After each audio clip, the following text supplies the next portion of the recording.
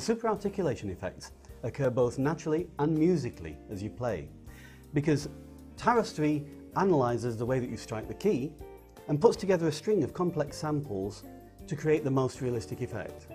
There are three different clarinet voices in the Superarticulation 2 set.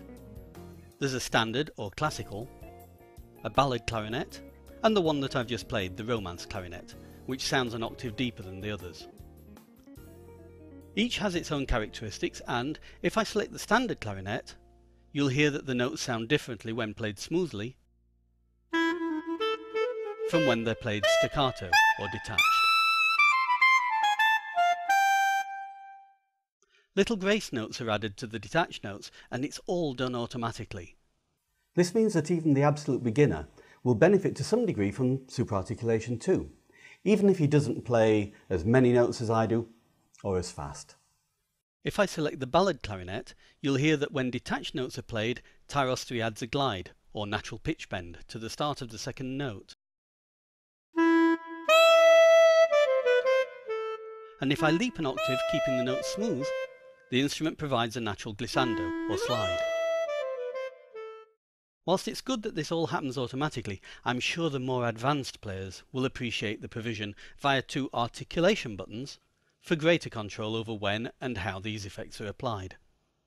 Let me show you how it works. I explained earlier that the superarticulation voices are made up of several samples, joined together in various ways to adapt the sound to different playing styles. Each note has a beginning, which we'll call the head. This is the attack you hear when you first strike the key, such as this glide, that can be forced onto any note using the Art 1 button. And a more pronounced effect is created when the Art 2 button is used, giving us the glissando we heard earlier.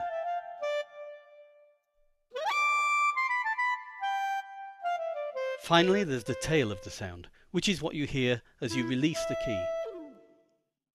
It's all very clever, and when you play a complete piece of music, Tyros 3's computer brain whizzes away, working it all out and putting the right pieces of the sound together, which thankfully means that you don't have to, because all you really have to do is, well, just play naturally.